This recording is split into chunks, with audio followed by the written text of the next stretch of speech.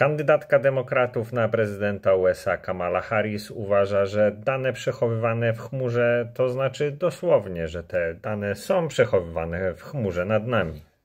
So you're now no longer are you necessarily keeping those private files in some file cabinet that's locked in the basement of the house.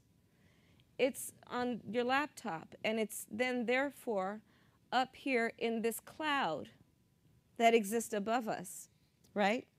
It's no longer in a physical place. Czy mieliście kiedyś taką sytuację, jakieś dziwne skrzyżowanie, cztery auta podjeżdżają i nikt nie wie jak ma się zachować, kto ma pierwszeństwo, a kto nie i wszyscy stoją i się patrzą na siebie.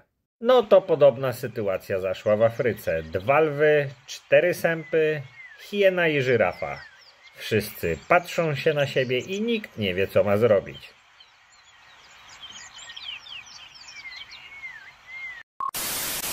A teraz test wiedzy wśród młodych osób na stolice europejskie. Pytanie pierwsze: co jest stolicą Niemiec? What's the capital of Germany? Auschwitz. No. Nein.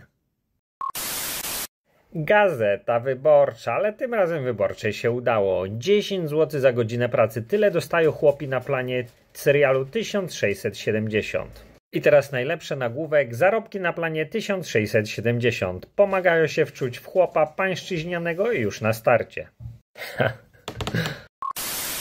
Zadłużenie Skarbu Państwa na koniec czerwca wzrosło o ponad 25 miliardów złotych.